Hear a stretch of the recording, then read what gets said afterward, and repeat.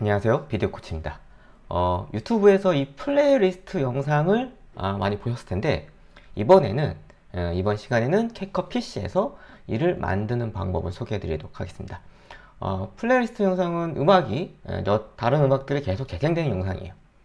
어, 몇 개의 음악이 계속 재생, 되는 영상인데 어, 표지나 배경 화면은 뭐 알아서들 어, 잘 꾸미시겠지만 여기 보시면 이 sound bar가 이렇게 움직이는 부분은 어떻게 하는지 궁금해 하십니다.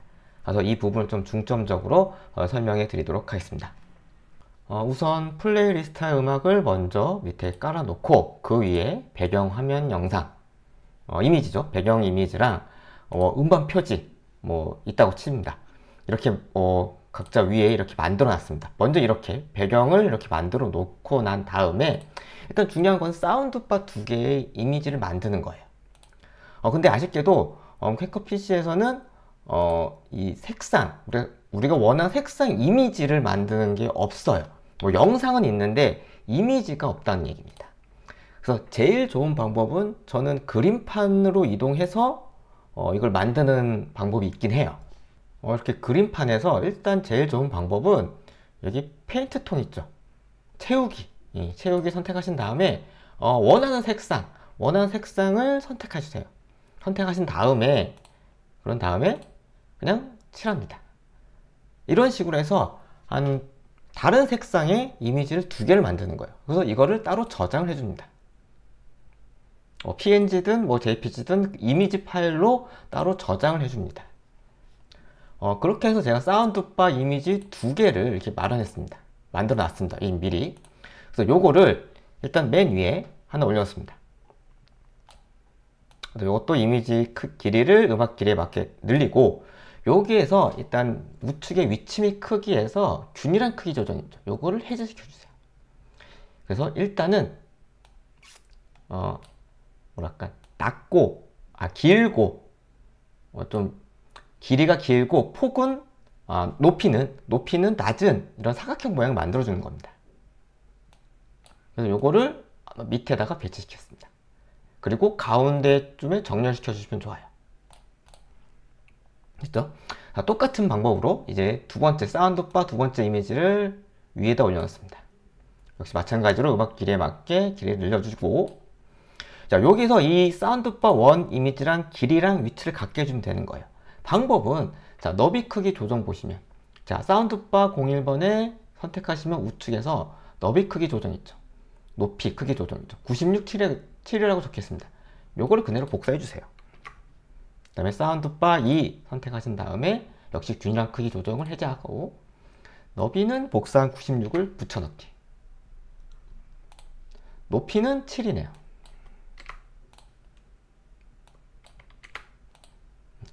자 그러면 이렇게 균일한 너비와 높이가 만들어지는 어, 사각형 두 개가 만들어졌죠. 다른 색상은 다르고요. 이때 위치값도 있습니다. 위치값도 마찬가지로 사운드바 01번 선택하신 다음에 여기 위치 y만 마이너스 885네 이것도 역시 복사해서 사운드바 02번에 y 위치에 y에 복사해서 붙여넣기 합니다. 그리고 엔터키 치시면 이렇게 두 개의 다른 색상의 이미지가 사운드바 이미지가 겹쳐서 보이게 됩니다. 여기까지는 어, 솔직히 말하면 여러분들이 할 수 있을 겁니다. 근데 문제는 이거죠. 사운드바가 움직이는 거는 어떻게 하느냐. 이때 사운드바 02번 맨 위에 있는 이미지를 선택하신 다음에 마스크로 이동합니다. 즉 마스크로 키프레임을 이동을 하셔서 움직이는 것처럼 만드는 것입니다. 그때는 저는 분할이란 걸 이용하겠습니다.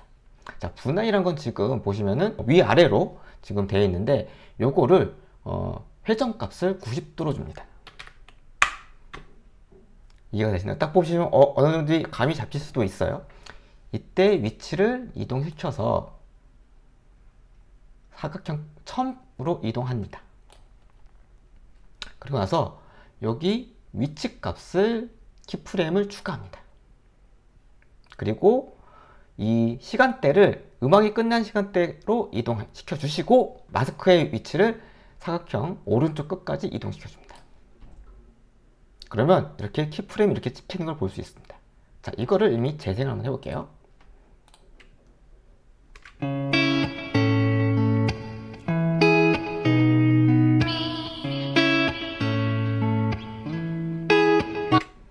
그러면 이렇게 사운드바가 움직이는 것처럼 보이게 될 거예요. 아마 음악이 끝날 때는 이게 멈추게 됩니다. 보시면 음악이 이렇게 쭉 가다가 음악이 끝날 때쯤에는 이런 식으로 멈추게 되죠. 이렇게 하는 게 이제 플레이리스트 영상을 만드는 어떤 원리라고 보시면 됩니다. 즉 마스크의 위치 값을 이동시켜 주는 겁니다. keyframe을 통해서. 자 여기서 하나 더 해, 가지고 아, 만약 스티커를 통해서 음, 음, 여기 뭐 스티커를 보시면은 이런 식의 뭐 아이콘 같은 게 보일 거예요. 음악 관련된 아이콘인데 요거를 하나 갖고 와서 마찬가지로 어, 음악 길이에 맞게 크기를 아, 길이를 조정해주고 위치 뭐 크기를 조금 작게 위치시켜 줍니다. 자, 그럼 이게 어떻게 되느냐 요거를 이렇게 해주시면은 이제 이 음악이 재생되는 동안 뭐 playlist sound bar가 움직이잖아요. 마찬가지로 이 이미지도 같이 움직이게 해주는 거예요. 똑같은 방법이에요. 그럼 우측에서 keyframe 주시면 되는 거예요. 위치값 키프레임 주고 음악 끝까지 이동하신 다음에 이 이미지, 스티커 이미지도 마찬가지로 이 사각형 끝까지 이동시켜 줍니다.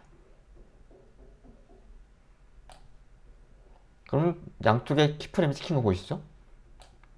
자, 그래서 어, 재생을 한번 해보도록 하겠습니다.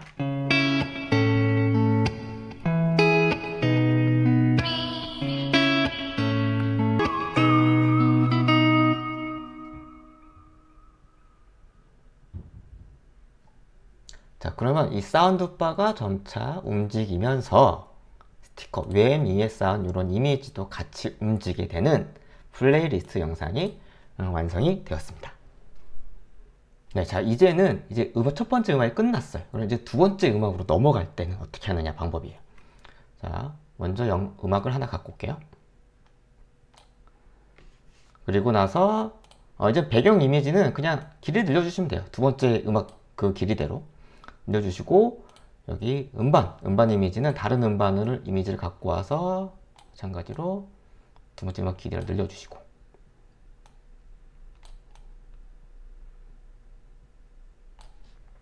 그리고 사운드바 01번 이미지도 마찬가지로 길이를 그냥 늘려주시면 돼요.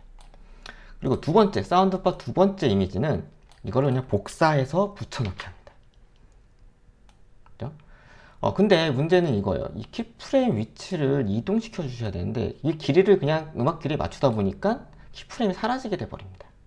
엉망이 돼 버려. keyframe 안 돼요. 왜냐면은 지금 첫 번째 음악보다 두 번째 음악 길이가 짧아서 그래요. 만일에 첫 번째 음악보다 두 번째 음악 길이가 길면은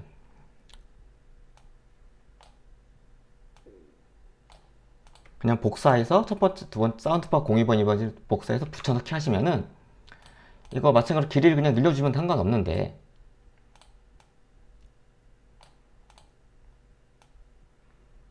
길이를 이렇게 늘려주시면 이 키프레임 위치만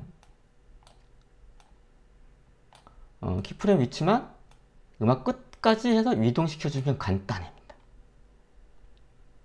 만약 첫 번째 음악보다 두 번째 음악이 길면 이런 식으로 이동시켜 주면 가볍게 할 수 있어요. 근데 번째 음악보다 두 번째 음악 이 길이가 짧을 경우에는 조금 복잡해집니다.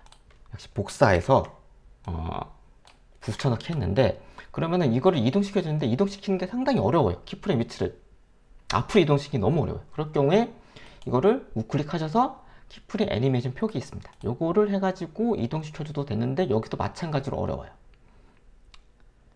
네, 이동시키기가 힘들, 힘드네요 이게 참. 그래서 저는 그냥 차라리 음,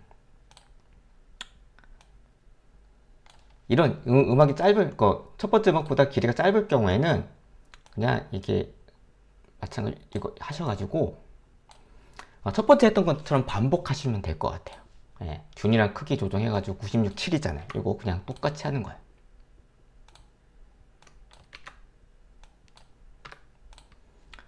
위치값도 복사해서 오히려 이렇게 복사해서 붙여넣기 해서 그냥 하는 게 훨씬 더 편할 수도 있어요. 그리고 또 마, 스크에서 분할해가지고 회전 90도 주고 프레임을 주시면 되는 거죠. 위치값 이동해서.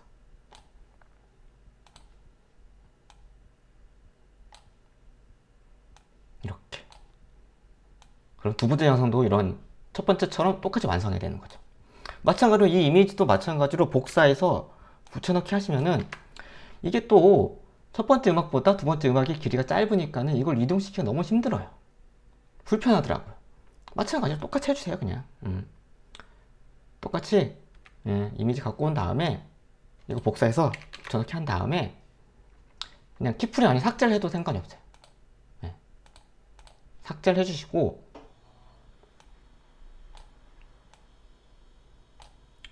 위치 값에 그냥 주시면 되는 거죠.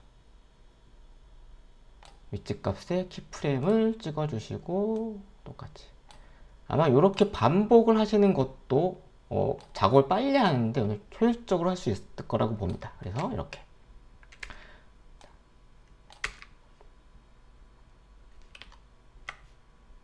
네, 만일에 조금 뭐 좀 단조롭다 싶으면은 이 표지 부분만 어떤 전환 효과를 조금 주시면 것도 괜찮다고 봅니다.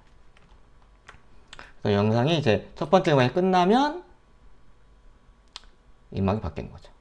이렇게. 자, 그래서 아마 이런 식으로 해서 계속 복사해서 붙여넣기 해가지고 계속 반복을 하셔야 될 거예요. 여러 음악에 있으면은. 그래서 요거를 한번 다시 쭉 한번 바뀌는 부분 어떻게 넘어가는지 한번 재생을 해볼게요.